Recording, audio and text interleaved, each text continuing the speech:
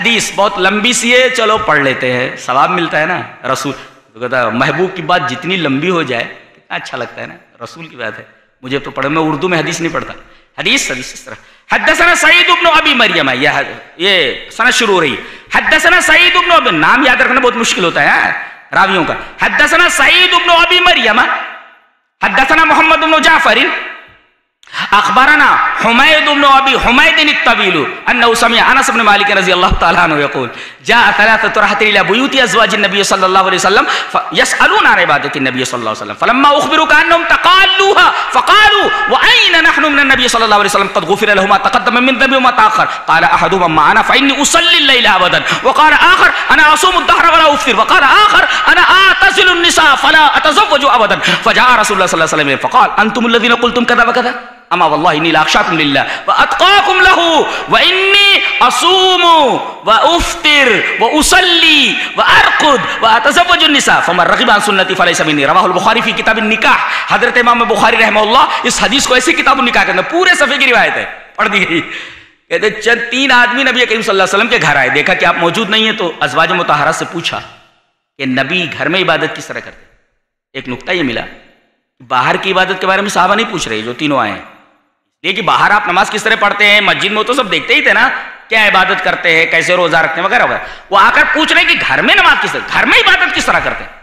اس کا مطلب یہ ہوا کہ آپ کو مسجد میں عبادت کرنی ہے، ساتھ ساتھ گھر میں بھی گھر میں بھی عبادت کرنی ہے۔ تاکہ چھوٹے بچے دیکھیں کہ بھائی ابا نماز پڑھ رہے ہیں، امی نماز پڑھ رہی ہیں، ابا تلاوت کر رہے ہیں، ابا یہ کر رہے ہیں، ابا وہ کر رہے ہیں، امی یہ کر رہی ہیں، بہنیں یہ کر رہی ہیں۔ ایسا ماحول ہوں ہمارے گھروں سے گھروں کی عبادت نکل جانے کے بعد اس کی جگہ پر دوسری چیزیں اس آ گئیں۔ در حقیقت ہماری بربادی کا سبب یہی ہے۔ ناچ، گانے، ٹی وی، یہ ساری چیزیں آ گئیں اور ساری کی ساری لڑکیاں خراب ہو گئی لڑکے خراب ہو گئے۔ اب دیکھو، لگے رہتے بیچارے۔ کس پہ؟ موبائل لے کر اتنی دیر میں اگر اللہ کی تصویر بیان کرے تو ان کا چہرہ منور ہو جائے اور ان کی روح کے اندر تازگی ملے۔ وہ لگے رہتے اسے کیا ملنے والا ہے؟ اسے؟ اسے کیا ملنے والا ہے؟ یہ دیکھ لیا وہ دیکھ لیا ملا کیا؟ وہ تو بتاؤ۔ دیکھ لیا، ملا کیا؟ حاصل کیا؟ وہ تو بتاؤ۔ کچھ حاصل نہیں۔ ہو کچھ نہیں حاصل۔ خالی ٹائم ٹائم کا ضیاع ہے۔ وقت کی بربادی، اتنا محنت کرو، روزی کماؤ، کسی حلال اللہ کو یاد کرو۔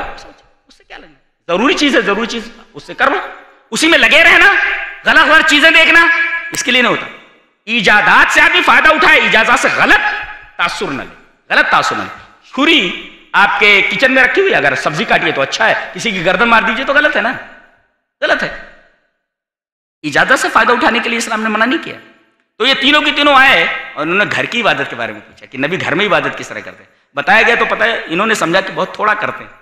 کہنے لگے ایسا ہے کہ نبی تو نبی ہیں، آپ کے اگلی پچھلی خطائیں معاف ہیں۔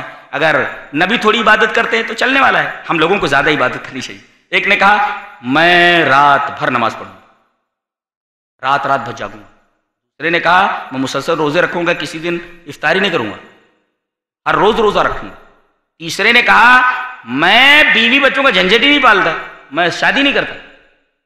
نبی صلی اللہ علیہ وسلم کو جو معلوم ہوا تو آپ ان کی طرف آئے۔ دیکھو، اس میں سماج کا ایک بہت بڑا مسئلہ ہے کہ کوئی آ کر کے آپ سے کہتا، فلاں صاحب، آپ کو ایسا بول رہے ہیں اور آپ آستین چڑھا لیتے فوراً سن کر کے۔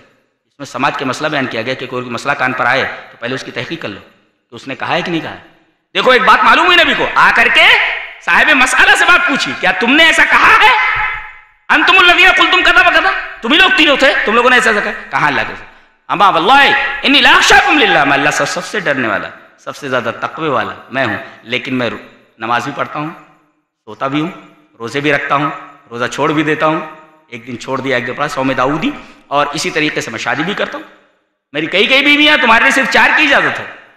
میری تو گیارہ گیارہ بارہ بارہ بیوی ہے تو تو مطلب یہ نہیں کہ آپ دنیا کو چھوڑ دیں، بلکہ دنیا میں رہتے ہوئے، ہمارے ہاں نیکی پازیٹیو نہیں ہے نگیٹو ہے۔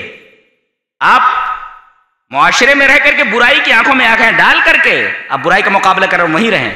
آپ کو اجازت نہیں کہ آپ رہبانیت اختیار کریں، لوٹا ڈنڈا اٹھائیں اور آپ چلے جائیں کسی غار کے اندر اور کسی پہاڑی کے اوپر چلے جائیں۔ آپ پادری بن جائیں، آپ سادھو بن جائیں، آپ صوفی بن جائیں، اس کی اجازت نہیں ہے۔ آپ معاشرے میں رہیے، برائیوں سے مقابلہ کیجیے۔ اور آخر میں آپ نے فرمایا، فما رغیبان سنتی فلئی سمندھی جو میری سنت سے سنت کا طرز زندگی۔ نبی کریم صلی اللہ علیہ وسلم نے جس طرح زندگی گزاری ہے، پوری زندگی کا نام سنت ہے۔ اور اسی طریقے سے ہم کو چلنا ہے۔ یہ محبت کا تقاضا ہے۔ اور جو آدمی سنت سے اعراض کرے اور خالی اقرار محبت یا اظہار محبت کرے، اس اقرار محبت اور اظہار محبت کی کوئی اہمیت اللہ کی نگاہ میں نہیں ہے، نہ اس کے رسول کی نگاہ میں۔ اللہ تبارک و تعالی ہمیں اس بات کی توفیق دے کہ اس کی محبت ہمارے دلوں میں جاگوزی ہو، اس کے رسول کی محبت سے ہمارا دل معمور ہو جائے۔ اور اسی طریقے سے ہم نبی کریم صلی اللہ علیہ وسلم کی اتباع فتق اللہ مستا تم جتنا ہم سے ہو سکے، ہم زیادہ سے زیادہ نبی کریم صلی اللہ علیہ وسلم کی اتباع کی راہ میں آگے بڑھیں۔ اللہ ہمیں نیک عمل اور اچھی سمجھ کی توفیق عطا فرمائے۔ واخر دعوانا الحمد للہ رب العالمین